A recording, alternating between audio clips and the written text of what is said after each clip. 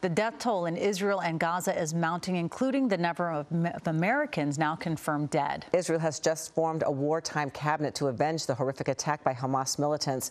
Eyewitness News reporter Josh Haskell joins us now with the latest developments, including how the U.S. is working to get Americans out of that area safely. Well, Israeli President Benjamin Netanyahu calling Hamas ISIS, saying they will be defeated like the world defeated ISIS. This as Hamas infrastructure continues to be bombed in Gaza. The death toll in Israel and Gaza continues to climb. Black smoke rising over Gaza from Israeli airstrikes, where the death toll has reached over 1,000, and the UN says 263,000 people have been displaced. Power is out in Gaza, the main hospital at full capacity. As Hamas rockets continue to fly towards southern Israel, the difficult work of searching homes wiped out by Hamas terrorists continues. Reports of bodies everywhere, including women and children. 1,200 Israelis have been killed, 2,900 injured. It's not a battlefield.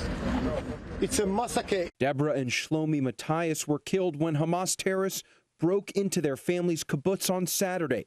Their 16 year old son, Rotem, survived. The terrorists shot, opened the door, shot. They threw a grenade or something. It exploded.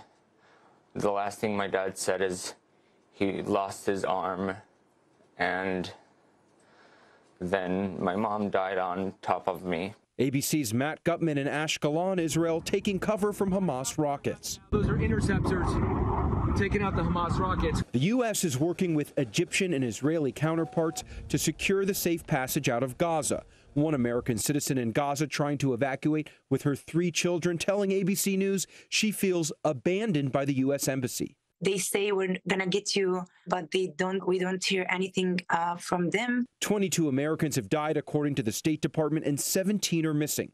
There is no justification for terrorism. Aziza Hassan, the executive director of Newground, a Los Angeles based Muslim Jewish partnership for change, is Palestinian and tells Eyewitness News it's important that Muslims show up for Jews and vice versa. There are humans um, on both sides in all places, whatever a side is. But the, the path forward is together. It's not isolating and letting our hearts harden because we need to be able to stop the pain. And the first plane of U.S. ammunition landed in Israel earlier today. Hello, I'm Mark Brown. Get more great ABC7 content by clicking the subscribe button for our YouTube channel and download the ABC7 Los Angeles streaming app on Fire TV, Android TV, Apple TV, and Roku to watch on your TV.